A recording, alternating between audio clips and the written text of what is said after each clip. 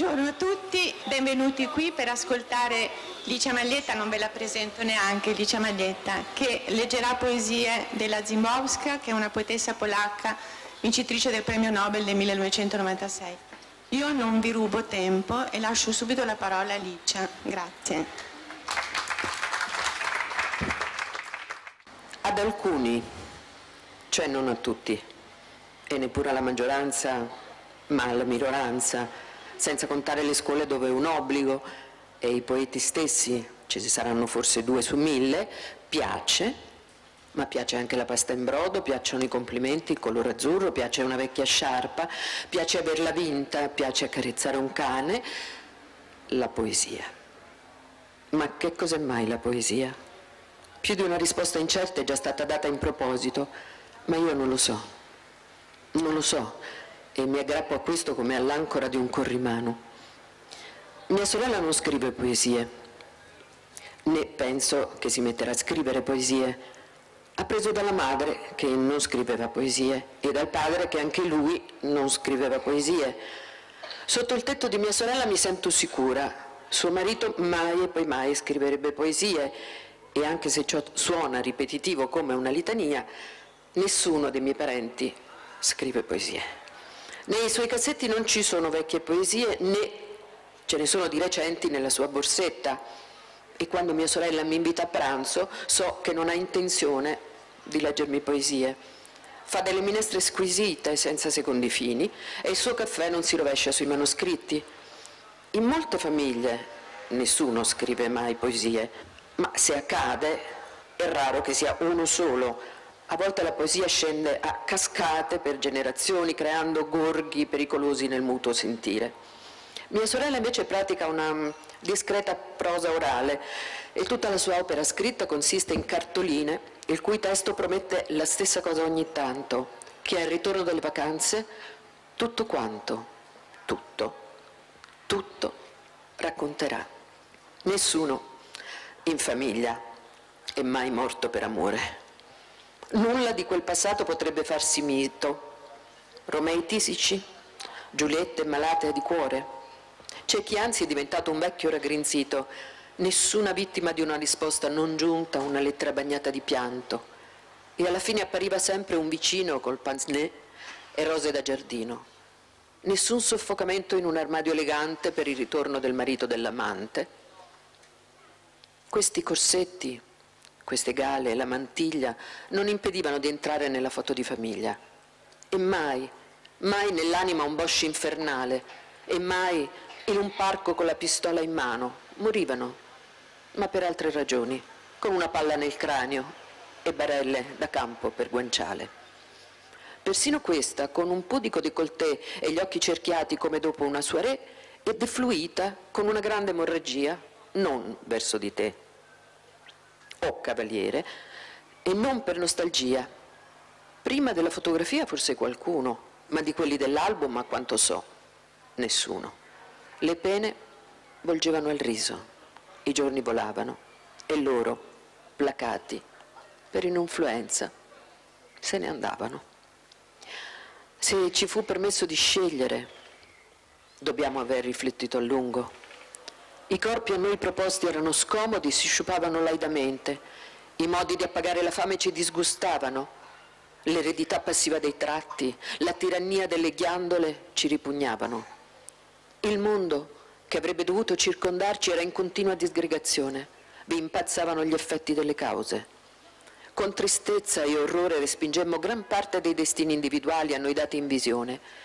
Ci chiedevamo, per esempio, se valga la pena partorire nel dolore un bambino morto e a che serva essere un navigante che non giungerà mai a riva.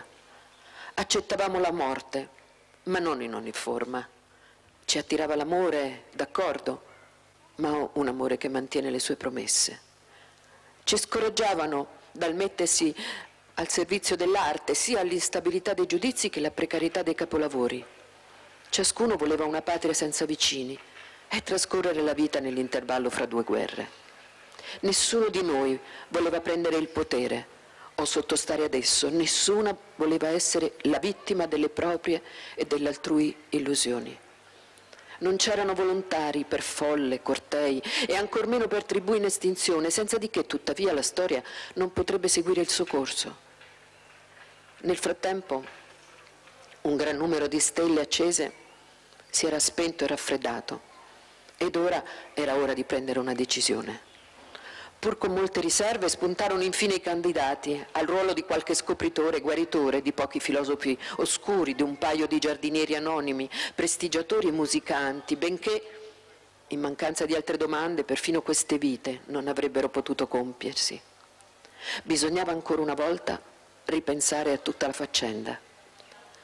C'era stata fatta la proposta di un viaggio, da cui dopo tutto saremmo ritornati presto e di sicuro un soggiorno oltre l'eternità, comunque monotona e ignara del passare del tempo, avrebbe potuto non ripetersi mai più.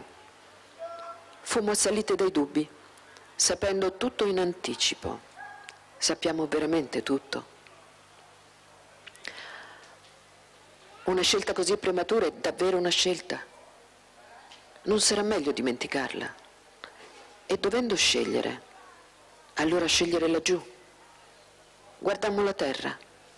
Ci viveva già qualche temerario. Una pianta gracile si aggrappava alla roccia con l'incosciente fiducia che il vento non l'avrebbe strappata. Un piccolo animale si trascinava fuori dalla tana con uno sforzo e una speranza per noi strani. Ci sembrammo troppo prudenti, meschini, ridicoli. D'altronde cominciamo presto a diminuire. I più impazienti sparirono da qualche parte, erano andati per primi alla prova del fuoco, era chiaro. Lo stavano appunto accendendo sulla sponda scoscesa di un fiume reale. Alcuni già stavano tornando addirittura, ma non nella nostra direzione. E con qualcosa forse tra le mani? Sei bella, dico alla vita. È impensabile più rigoglio, più rane, più usignoli, più formiche, più germogli. Cerco di accattivarmela, di blandirla, vezzeggiarla. La saluto sempre per prima, con umile espressione. Le taglio la strada da sinistra, le taglio la strada da destra e mi innanzo nell'incanto e cado per lo stupore. Quanto è di campo questo grillo e di bosco questo frutto Mai l'avrei creduto se non avessi vissuto. Non trovo nulla, le dico, a cui paragonarti. Nessuno ha fatto un'altra, un'altra pigna, né migliore né peggiore. Lodo la tua larghezza, inventiva, esattezza. E che cos'altro di più? Magia, stregoneria. Mai vorrei recarti offesa né adirarti per dileggio. Da centomila anni almeno sorridendo ti corteggio. Tiro la vita per una foglia si è fermata, se n'è accorta, si è scordata dove corre al, almeno per una volta.